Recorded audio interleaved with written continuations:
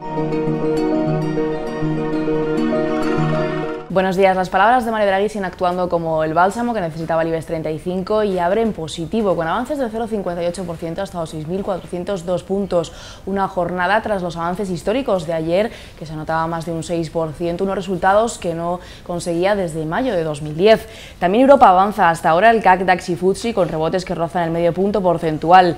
Resaca, como decíamos, de las palabras de Draghi, que ahora toca pensar cuándo se van a materializar. El próximo jueves la autoridad monetaria tiene reunión en Frankfurt y podría allí anunciar anunciar que reactiva el programa de compra de bonos o inyectar directamente liquidez al fondo de rescate para que sea este el que compre. Aunque el bálsamo ya en estos primeros compases podría desinflarse, tenemos malos datos de la EPA. El paro escala unas décimas hasta el 24,63%, otro máximo histórico.